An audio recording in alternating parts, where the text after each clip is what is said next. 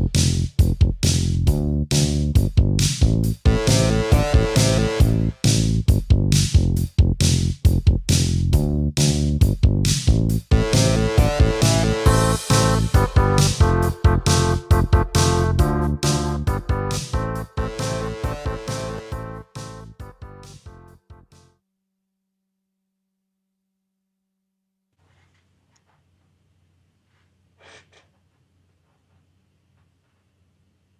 Good evening. Welcome. This is Ryan Miller for Parent Dome, where I am hosting the Internet Safe Kids Show. This is episode number two. So, um, what I would like to do is first offer that um, I am dealing with a very difficult topic about speaking how to keep kids safe on the internet. And I talk about three topic areas awareness, oversight, and controls. And because I am so passionate about my topic area, some of the things I say may not come out the way I intend them to because I'm very passionate. So I want to offer an apology in advance that my goal is to not offer any value based judgment regarding parents, parenting dynamics, the relationship with their children, what their objectives are. I don't want anybody to perceive anything that I say in a negative light. This is all about a conversation that I'm having with caregivers of children on how to make their own decisions based upon, as I increase awareness, talking about awareness and oversight and controls, what is appropriate for you in your relationship with children based upon the desired outcome you would like in a in a child. So if anything that I say along the way comes off as being judgmental, that is not my intention at all. It's conversation to help parents in becoming how to keep their kids safe on the internet. The other thing I want to offer is a disclaimer that I'm going to go into uh, my presentation this evening a little bit about my background that gives me the credibility to uh, have the authority to speak on this topic. But relative to the credentials of the things that I talk about, I am not a lawyer. I'm not a psychologist. I'm not a therapist. I'm not a clinician. I'm not a law enforcement person a lot of the things that I talk about will cross into those domains and competencies. And the, the basis on which I'm making my statements about them are based upon multiple uh, interviews that I've conducted, research that I've done, uh, actual papers that I've downloaded and researched, and I am paraphrasing some of the documented research and study that I have done. So the disclaimer is I'm not offering legal advice because I'm not an attorney. I may provide historical references to case law and things that have happened in the law in various states or federal law. Uh, I may talk about the psychology and the way brain processes things, but again, I'm not a medical doctor nor a clinician, but that's based upon my research. So those are the framework. That's the framework that I'm coming from. So um, please understand that I didn't don't look at what I'm saying as being judgmental, and also I'm not coming from that authoritative standpoint that I have these credentials behind me. So what I would thought I would do last time I was talking about this epidemic that was happening in across our country today about sexting, which is a very it's a very important topic and it continues to be a problem. And later in the episode, I'm going to talk about something that's even a little bit more severe that just recently happened that is um, has got the same virility, viralness as sexting does. But I wanted you to get a more personal glimpse into who I am and what has been my journey to form this in me that I am so passionate about it. And this, this is kind of a personal journey, a personal story. And I'm not going to go through my entire journey because there's multiple milestones that have happened in my life that have formed this. So in the next episode, I'll take you another uh, step along my journey. In the third episode, I'll give you another step along the journey. And you'll see how this package of my life has kind of driven me into this focus of this area. And honestly, it hasn't really come into this kind of clarity for the last couple of years. Uh, the last couple of years, it's become crystal clear, but I knew it, I, I was tuned into the forming of how it was happening in my life, and I'm going to share that with you now. So this is personal. Um, some of it, it's difficult for me to tell so, and I am a kind of an emotional person. I wear them on my sleeve. So, I, if I emote, that's just part of who I am. So, I grew up in a middle class family, uh, raised in the Pine Barrens in New Jersey. And when I was around eight or nine years old, we were plunked up out of the Pine Barrens and we were moved into rural Pennsylvania. And during there, it was in the awkward time, eight, nine, ten years old, that it was a little unusual to reestablish new friends. But I, I reached out and I built a new set of friends being transplanted. My parents um, thought it would be very good for me to be involved in sporting programs, to be involved in scouting. And during this time of my life, I had experienced um, the negative consequences of being a sec- being sexually abused. Uh, through through the scouting experience, I was a victim of sexual abuse. This is very unusual in that most sexual abuse has been identified to happen with family members. I'm pleased to say it was none of my family members. It was related to scouting. And it happened for an extended period of time. And with a young mind, I wasn't sure how to handle that. And it, it affected me, it affected me through uh, junior high school, through high school. My parents, I never told my parents about it. Didn't come out until I was in my 20s that they even knew that this happened. Oh, that's funny. Somebody's going to poke at me that I might cry. So, um, during my teen years, this was something that uh, held on to me and made me aware of an element of my personality that it, you, you go through this questioning process.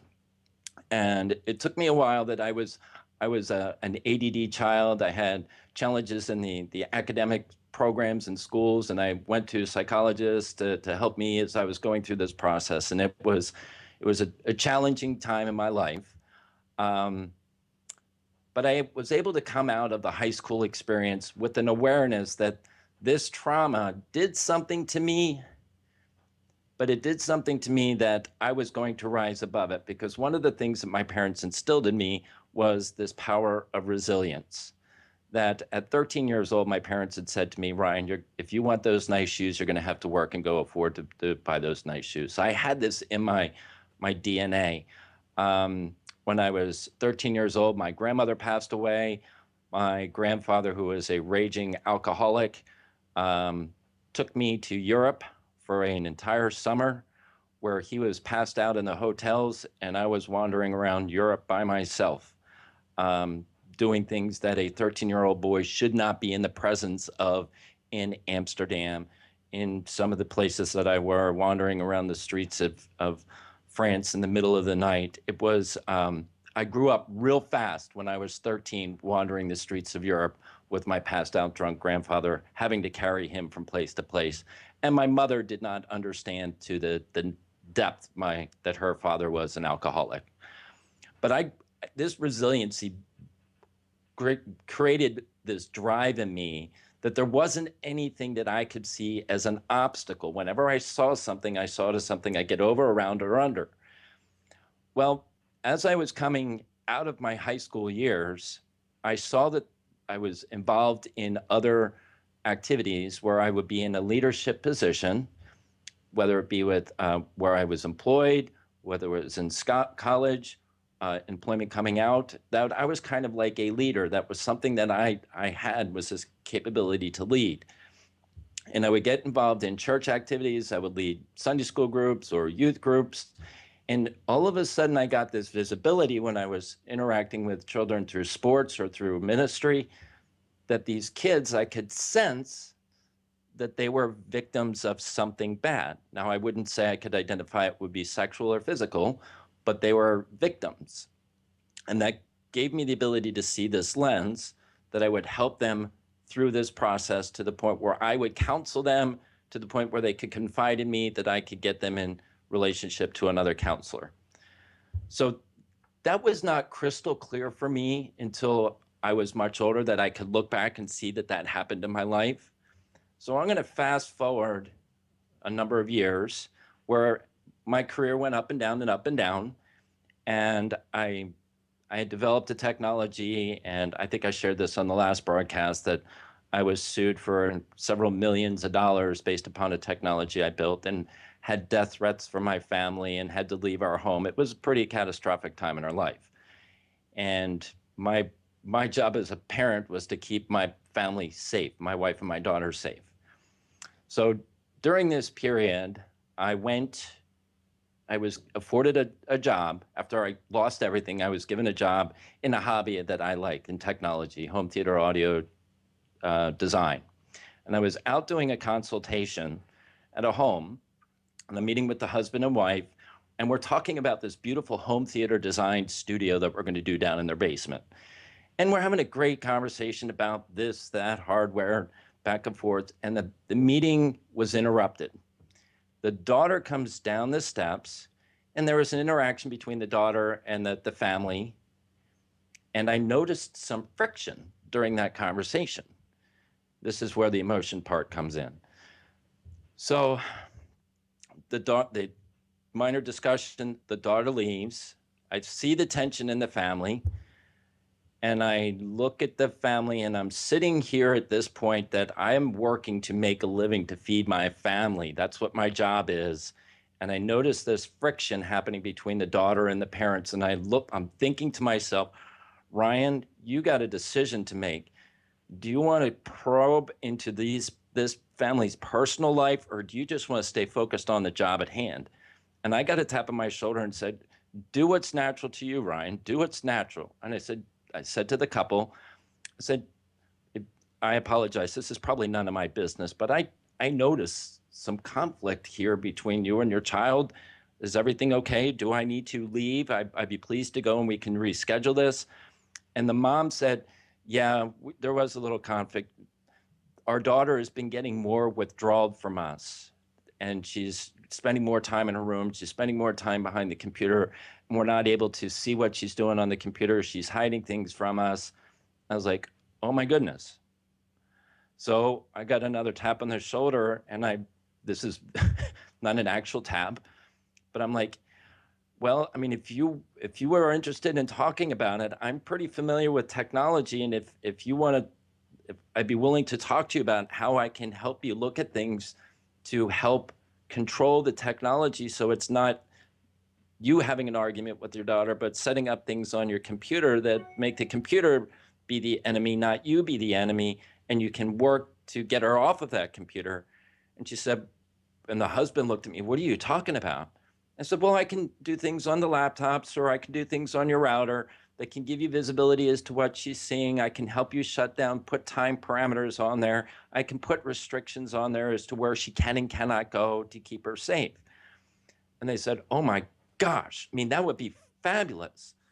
So they said, Could you do that tonight? I said, Absolutely. So we went into their computers. We went to, actually went down to the router first, and I configured the router, added some software to it, and gated off the router as to what can come in and what can go out.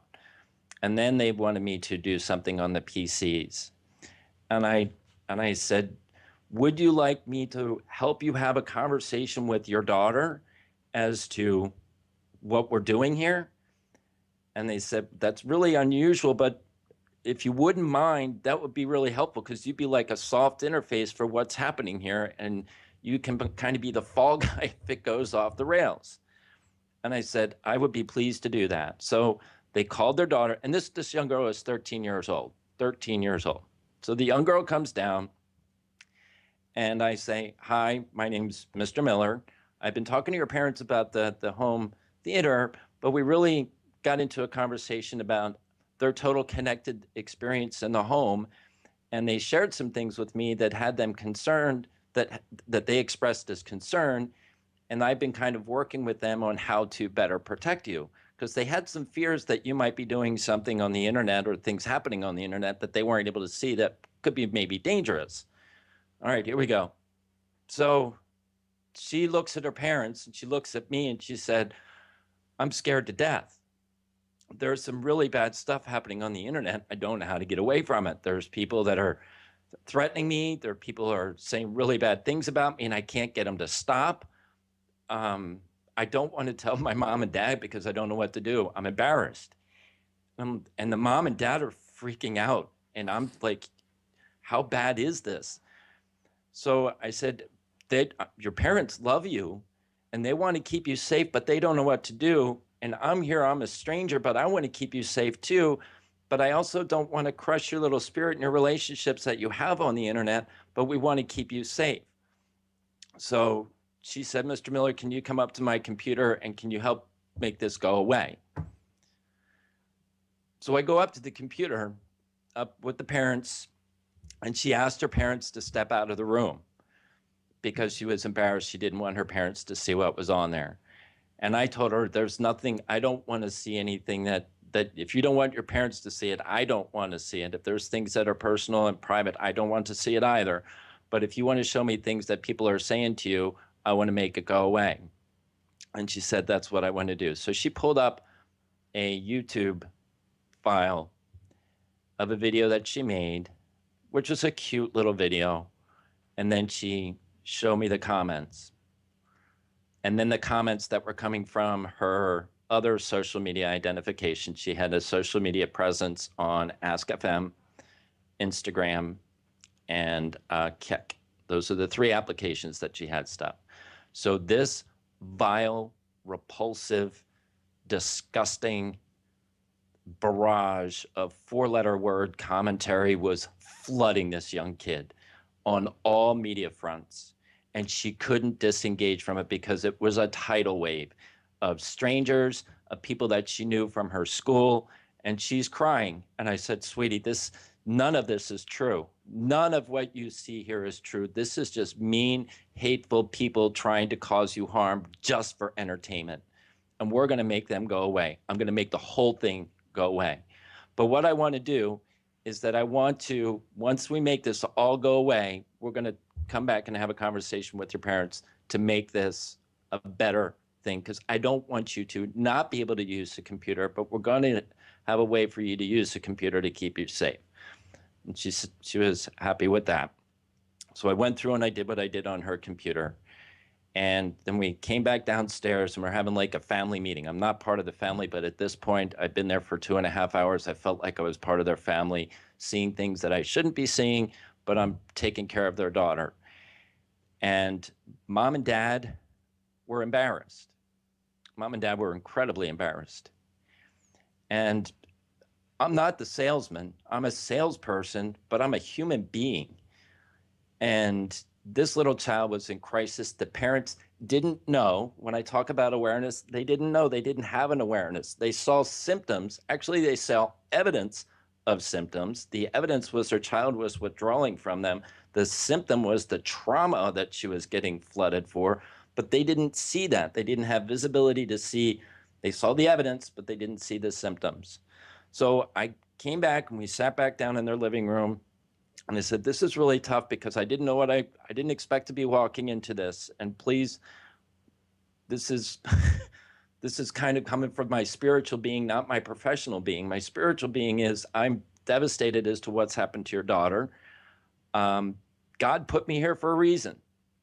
And I don't need to sell you one thing on your home stereo because what I was able to do today with your daughter was much more powerful. And that what could have happened to her could have affected her for the rest of her life. And I said, something happened to me really bad in my life that I didn't have someone around to rescue me at the right time. And she needed somebody to rescue her and her parents weren't there. She had no siblings. She was a standalone child. She was a lonely child. So I said, I'm here to rescue you, and I want to help you and your parents put you back on a path that's safe. Um, it's not going to be easy because some of this stuff is going to come back. So I had a meeting with the parents about how to set up me- methods and processes and procedures for how to keep their daughters safe. And it started with me creating a heightened awareness for them to set up a process that they would have oversight on everything their child did, and then using hard, fast controls, such as I did with the router, such as I was going to suggest to them in a subsequent meeting to do on the smartphone and to do with the, the laptop, hard, fast controls. This happened six years ago. I didn't know this happened six years ago until I went back to I went back to a blog post that I wrote and I needed to pull something out of my blog for another journey that I was doing. And I stumbled across this in my blog post. And I was like, holy smokes, I remember that. I remember that intimately what it was when I was working with that family six years ago. Well, I've been on this journey about how to keep kids safe on the internet with investing time in research and presentations and gathering data. It's been going on for two and a half years now. And my that that's culminated in an educational platform. And I think I shared last time that I'm not an internet marketer. That's not me. I'm a guy that's got a passion that wants to help kids, and I want to give tools to parents to help them do that, to help them increase their awareness so they can get the oversight and they can put the controls in place. So that's that's a personal story of mine that formed me from a very young age that culminated six years ago with this one pinnacle event. And next time, next episode, I'm going to share how it even came closer into my home that really set me on fire on the path that I had to do something. And that was the springboard that got me out into the public domain that I was doing presentations. And I was overwhelmed when I was doing the presentations that I would present between two, three, four, five hundred people. And after a presentation, the line would be almost the entire audience standing in line, wanting my time to address this problem, that problem, this problem, that problem after an, an hour presentation. And I can't handle 400 people question and answers after a massive presentation and address their individual problems. And that was the catalyst for me to take all of my knowledge and put it into a, a, a aggregated area for people to gain access to. So I wanted to give you some transparency about me, um, where I came from, and I'm going to elaborate that more on the next the next episode. But there's something really interesting that I needed to.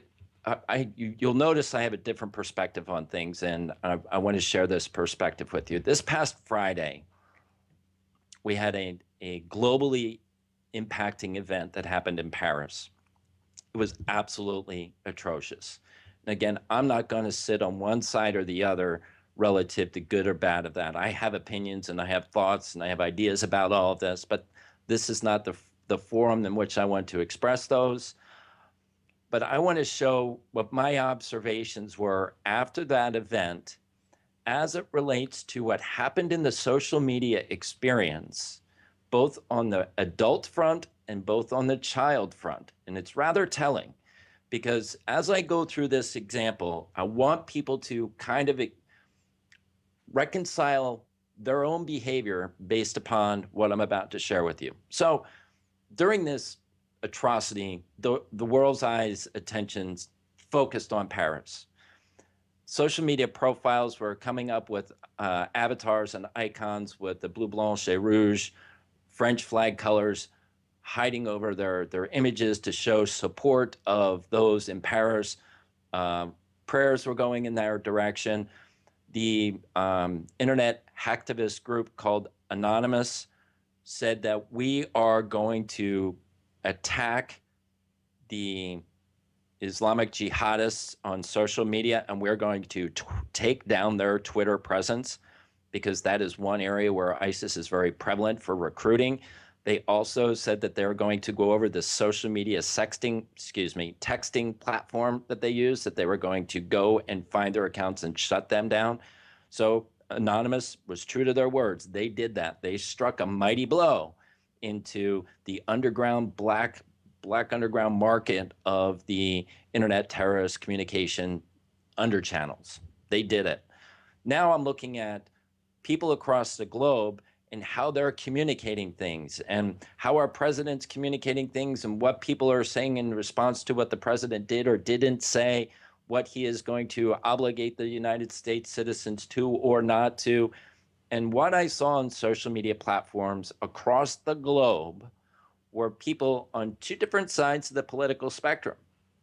Those that were saying the United States is a country of compassion, and this is what is our foundation, and we need to accept whatever quantity of refugees come into our country. Then you had another side of the the, the, the commentary, which was that we need to do due diligence in vetting these people before we let person one into coming into here. And then there's a discussion, well, widows and orphans, and then this this conversation going back and forth. Again, I'm not declaring where I am in this, but when I'm looking at both sides, I'm seeing people's social media walls, particularly on Facebook, blowing up, absolutely blowing up. And what I called it, I called it the social media cleaning house experience. Because if you have one person passionate about one side of this equation on what to do with the refugees, and another person equally passionate on the other side, and it's happening in a public forum such as Facebook, the emotions get elevated, it gets heated. And if we were to take a pause and see what our own witnessing was of what was happening in the social media experience, during that event for the past week, it's been a week, what has that social media experience been? Look at our Facebook walls and look at what people are commenting on other people's Facebook experience or other social media experience. And the I, I would venture to say that the quantity of removal of friends or de- uh, breaking of relationships. Now, I'm using the term social media friend, that that is not a familial friend, that's a social media friend. They don't have the same um, emotional attachment. But I'm suggesting that the quantity of those relationships that got severed this past week because of that diverse position and opinion and passion was probably the highest rate of Facebook blocks or Facebook friend defriending to ever happen. When I was watching it happen, I just I, I could see and people it was actually a, a, a comedic thing that people would talk about oh I got defriended here I got blocked here and it was almost like a challenge as to how often people could get blocked. So now here's the parallel I draw to that. As adults, and we are participating in social media, we have the wisdom and the, the discernment on how to communicate you know what? I've made a huge mistake and I apologize for that because I'm supposed to be letting people know how to ask me questions as I'm talking here. Instead of lecturing to you, I should be offering a, of a discussion. So um, I apologize. If you would like to uh, call in at 919 518 9773, uh, or you could come in via Skype at computers 2K voice via Skype, and you can text in questions or comments, and I apologize for being delayed in communicating that. So, what I was pointing out as adults when we're communicating in these forums, that we have the wisdom and we know when, when it's appropriate to disengage, and we know when we may be saying things which are over the top. And we know that the person on the other side has the ability to understand that these are just words and these aren't we can just hit the unfriend button or the block button and be done with it. And there's no permanent damage that is going to happen to an adult based upon these words flowing back and forth. But that behavior that we may be exhibiting is the modeling of behavior which our kids are picking up on. Kids are pretty smart. They know about us things that we don't necessarily want them to know. They know our behaviors, they know our idiosyncrasies and when we are doing these things on social media that we may be fueling that fire or we may be getting entertainment value from it, but it's still potentially inappropriate, our kids pick up on that.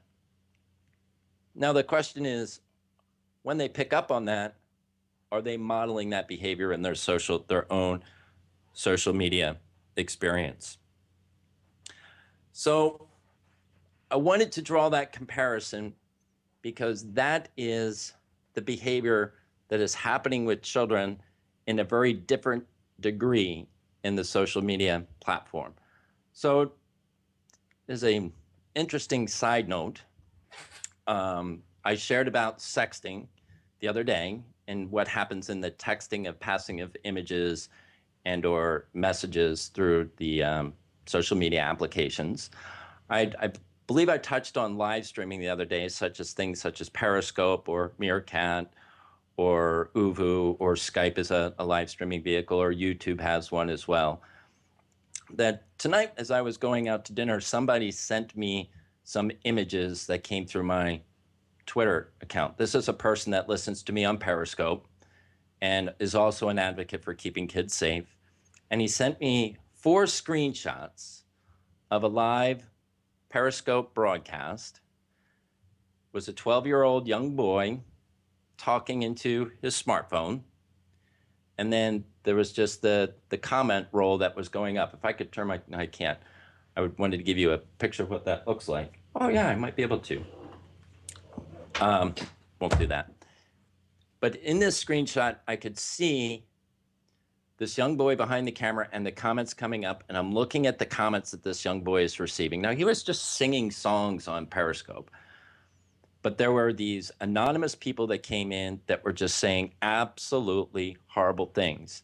So, my buddy who sent me that screenshot asked the kid, Do your parents know you're doing this? The kid obviously said, Sure, my parents know I'm doing this. Then he asked again, Do your parents know what is happening with the comments when you're doing this? And the boy said, No. And he said, Do you know that you're telling everybody right now on Periscope exactly where you live? And he's like, I don't care. Go away. 12 year old boy, his parents put this in their hand, his hands, and he's got no visibility as to what is happening. The parents have no visibility as to what's happening. So I'm going to take this one step further because I did a Periscope on this just the, the other, this week. I wasn't this week, it was last week. That I was talking about live streaming and that there was a incident that involved one male and a series of females that they were going to perform a sexual act on this young male. These were all minors.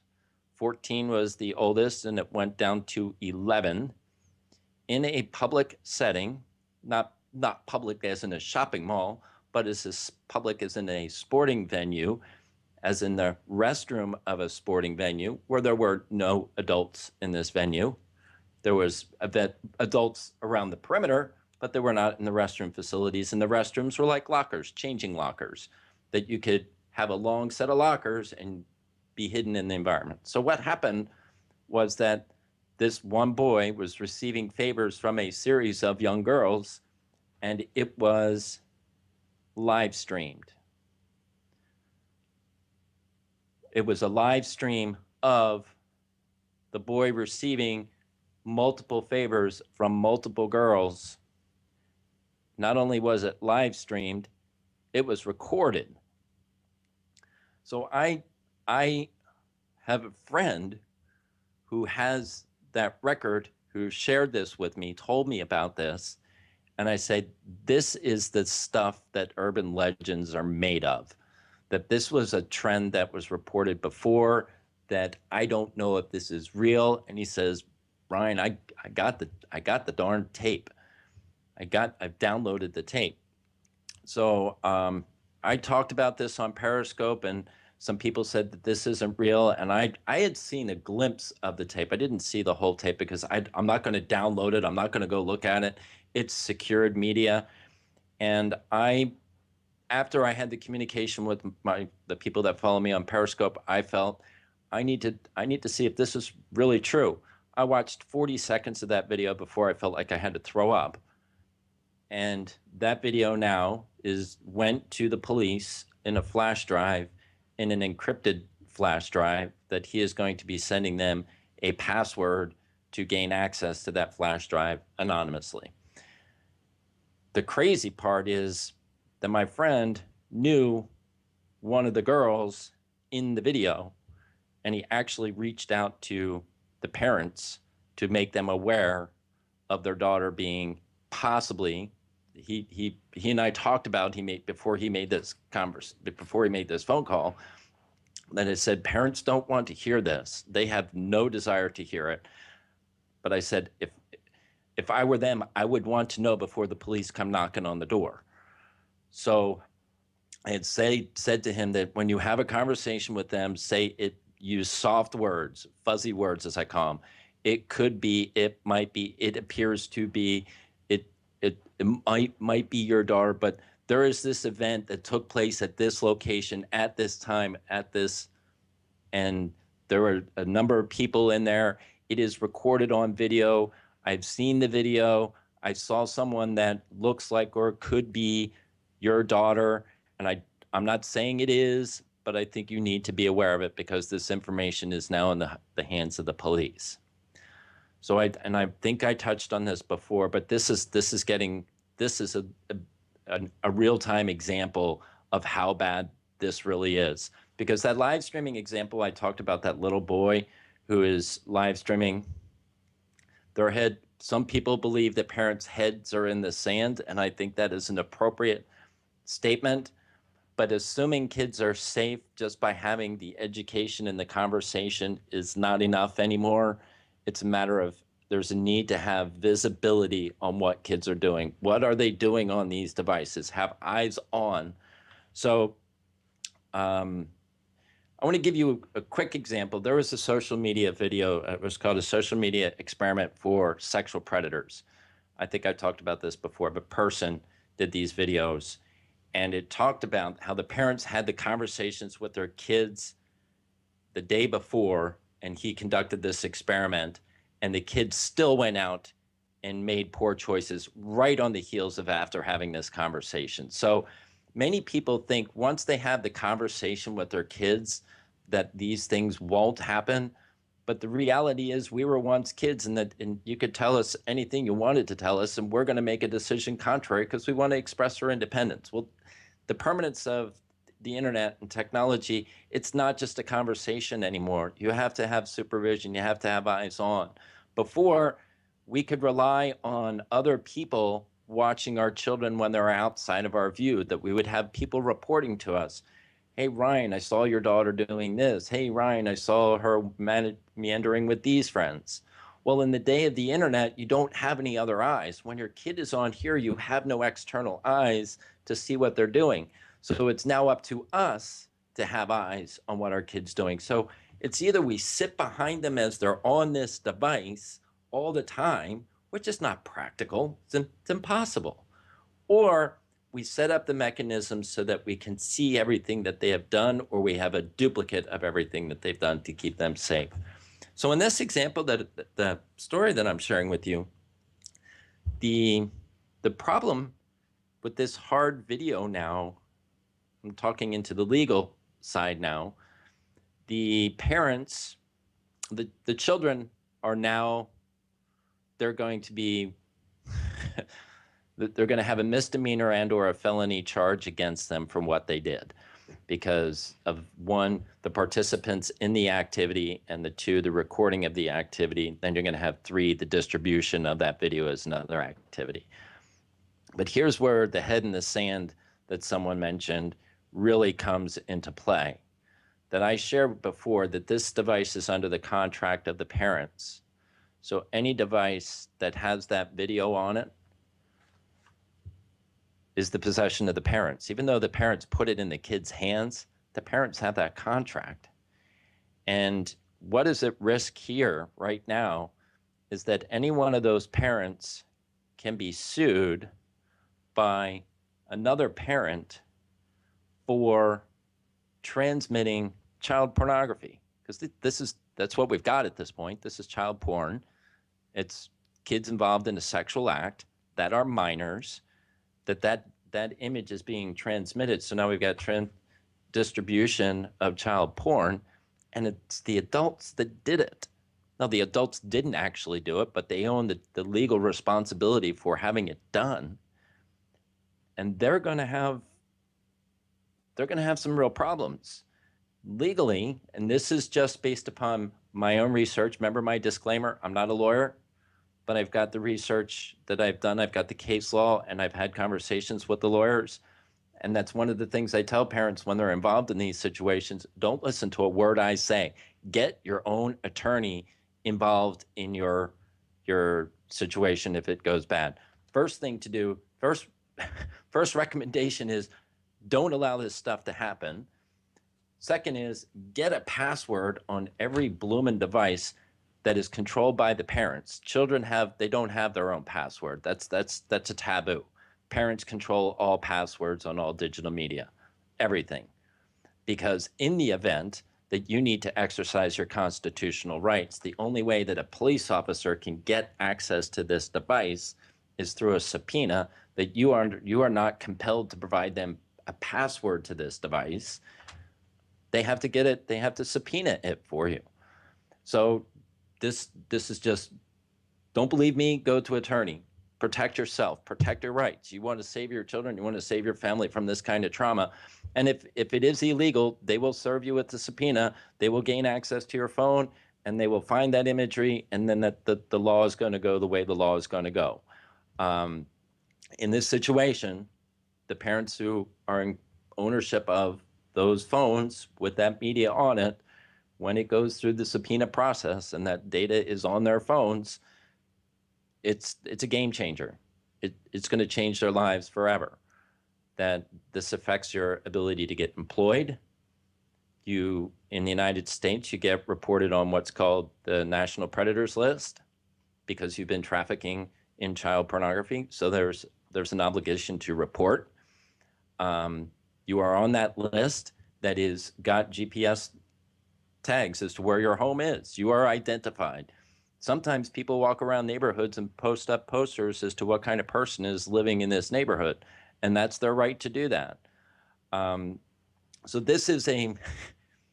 I was talking about the power of what's happening in sexting as an epidemic, and the potential consequences of that which is which is real, happening at, at, at every single day in volumes and volumes of pictures. Live streaming is the next area, which is very very dangerous. In a, a physical record in a video, and now I talk about the legal entanglements about it being the parent's responsibility. So remember, I mentioned that I'm not trying to apply any judgment on this at all because this isn't a judgment issue. I was on a social media platform today where somebody had a very strong opinion that certain sexual behavior is normal and acceptable and you should let kids be able to video to shoot video of themselves having sex. And that's that's his particular perspective. And that may be his perspective, but the law says that that is not appropriate behavior. So if it happens and he gets caught, then he's breaking the law. So I don't want to impose any moral statements on this. I have them. I'm talking about the, the consequences of it. The consequences of breaking the law and doing something as bad as that has long term consequences. So, where I said earlier that I think we're all aligned with the same objective to raise children to be safe so that they will be equipped to be resilient when they become 18 years old and go out we want to keep our eyes on those things that are going to undermine them or distract them from that. So the distractions that are working as an opposite force to our parental goals of keeping them safe, making them resilient to go out and be successful, productive citizens, those distractions are our peer groups, their peer groups. Their peer groups are going to take them away from an objective that we may have. Or we may have a peer group that is supporting our objective that's very possible too. The other is the internet.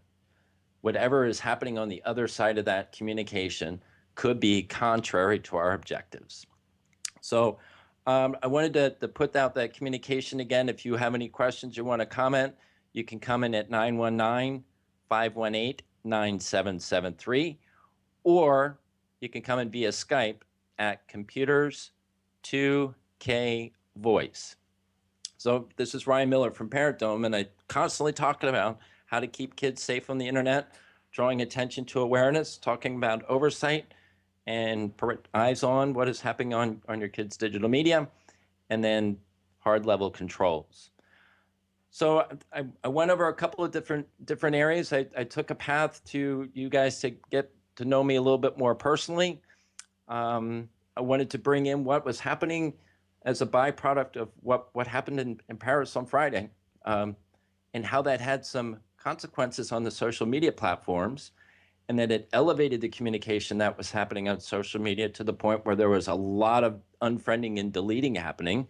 But I also draw the correlation to our own behavior that we may have been participating in that. And I'm, I'm pointing to myself. I, I was participating in that social media. I chose not to take some of the bait that was out there, and I wound up being more of a spectator than a participant. But I knew I could have easily gotten involved in the participant side. But I knew that my participation, one, is a visibility into what my relationship with my wife is like, as to I don't, I don't want to have this uh, perception that this is the way I am, or my real relationship out there is not this person speaking over here. So I don't want to do that. And then the other piece is that it, whatever we may have been doing is an example that we're leaving for our children as to what may or may not be appropriate behavior. And it's there, there's often this um, statement that that there's it's a hypocrisy or it's a double standard. And I, I say we that the word hypocrisy doesn't doesn't fit anymore. There's two standards, the double standard. And it's the standard which I have for myself, which I may permit myself to do certain things on social media, but the other standard is the standard that I hold for my child. Well, it's really unfair to have a standard for my child which is not a standard in which I'm willing to adhere to myself. It's kind of like the the the kind of business owner do you want to work for? Do you want to work for the business owner that points to the, the broom and says, sweep that? Or you're going to get the, or you're going to be better with the business owner that grabs the broom himself and stands beside you and says, let's sweep together. There's those that say, go, and then the others that stand in the front say, let's go. So I'm, I'm saying the double standard has been there for a long time that we stand at one place and we say we give ourselves permission because we're mature and wiser that we can do these certain things but the standard over here for our child is completely different um, so I, I thank you for uh, for staying and, and watching i'm going to continue to do these episodes i apologize for the technical difficulties that began earlier i hope everybody has an enjoyable enjoyable weekend and i ask that you uh, work with your kids to be aware of their dangers, to work to have eyes on the things that they're doing, and explore the different level of controls that you can have. Because I got to tell you, it's a lot easier to let the phone shut off at nine o'clock as opposed to say, honey, get off the phone. Oh, you're five minutes late. Honey, get off the phone. Oh, it's 10 minutes late. Get off the phone. Stop. Let the device shut it off for you. That's the part of the controls. And those are just little minor steps. All of that stuff is based upon family dynamics and your relationship with your children that are emotionally and responsibility. And it's all to have a better life in this digital world. So thank you very much. This is Ryan, and I will see you next week.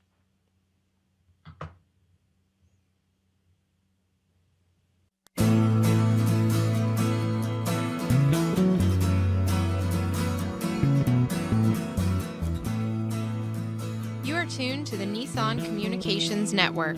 Our weekly lineup of call in programs includes Computers 2K Now with Amnon Nissan, Health In with Debbie Brook, Breaking Free with Marilyn Shannon, Lessons of Vietnam with NCVVI members, The Tanya Love Show, Your Healthy Pet with Gisela DiCarlo. And if you tuned in too late, you can always watch each program in its entirety or download an MP3 audio file of it at www.nissancommunications.com.